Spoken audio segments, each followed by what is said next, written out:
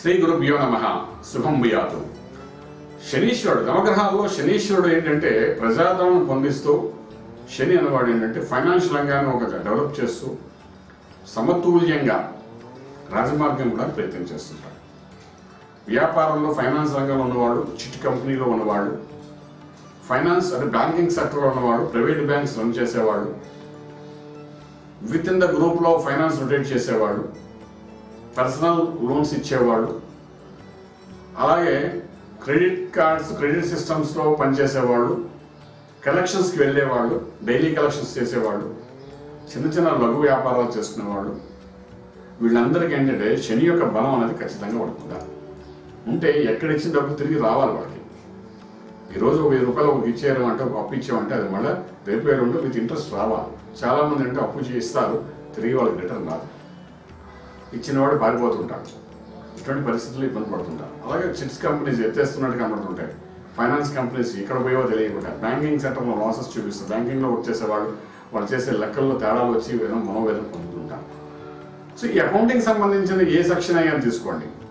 దాంట్లో మనిషి యొక్క ఆలోచనలో బలహీనపడుతున్నట్టు ఉన్నాయి. అందులో ఆ సెక్షన్లో పనిచేసే వాళ్ళు ఎవరైనా ఆ సెక్షన్ సంబంధించి వ్యాపారం చేసేవాళ్ళు ఎవరైనా ఉన్నారు అంటే వాళ్ళ ఆలోచనలో బలహీన పడింది అనుకున్నది అనుకున్నట్టు జరగట్లేదు. ఈ రోజు పది మందికి చెరో లక్ష రూపాయలు మన ఫైనాన్స్ ఇచ్చి మళ్ళీ వాళ్ళ దగ్గరికి వెళ్తే మనకి ఇవ్వట్లేదు. కలెక్షన్స్ అవ్వట్లేదు. ఏమిటి ఇదంతా? అన్నదానికి ఒక శని యొక్క ప్రభావం అనేది మన దాంట్లో బలహీనపడినప్పుడు ఇటువంటి జరుగుతుంటాయి. అటువంటిప్పుడు మనం కూడా మానసికంగా ఒత్తిడి ఏదో ఒకటి చేయాలనుకుంటాం. మనం ఒక మంత్రం చెప్తుంటాము ఒక రత్నం చెప్తుంటాం పెట్టుకోలేని. ఒక్కొక్కసారి మనోవేదం మంత్రమే సర్వ శ్రేష్టం అన్నప్పుడు ఒక చిన్న హోమం కూడా చెప్తుంటాం.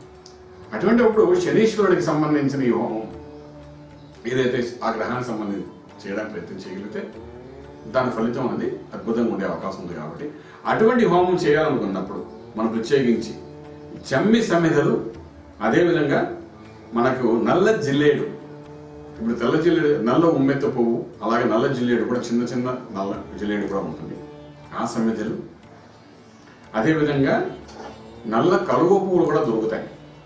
వాటితో సంబంధించిన ఆ పువ్వులు వీటన్నిటిని చేరదీసి వీటితో హోమాన్ని చేయడానికి ప్రయత్నించాలి. అంటే సమిధులు అంటే అన్ని రకాల సమిధులు కూడా ఉంటాయి అందులోని.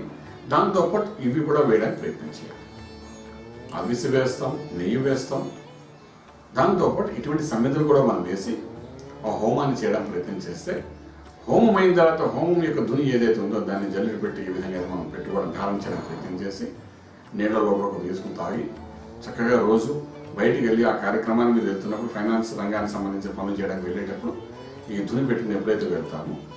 అనుకూల్యమైనటువంటి వాతావరణంలో అనుకున్న పని అనుకున్నట్టుగా జరగడానికి సంపూర్ణ బలం దోహదం చేసే అవకాశం ఉంటుంది.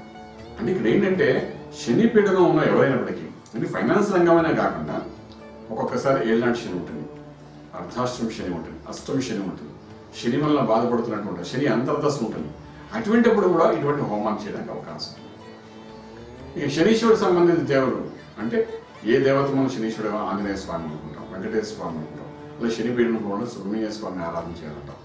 ఇవన్నీ చేస్తున్న హోమం అనే స్థితికి వచ్చినప్పుడు మాత్రం ఇటువంటి సమిధులు కానీ వాడుతూ చక్కగా హోమం చేస్తే అది మహాప్రసాదంగా జరిగి ఆయనకి ఆ శనీశ్వరుడికి తృప్తి కలుగుతున్నట్టుగా జరిగి ఆ సమిధులతో కూడా ధ్వని ఏదైతే మనం ధారణ చేయడానికి ప్రయత్నం చేస్తామో డెఫినెట్గా మనకు ఒక రాజమార్గం ఒక రాజయోగం కలిగే అవకాశం ఉంటుంది.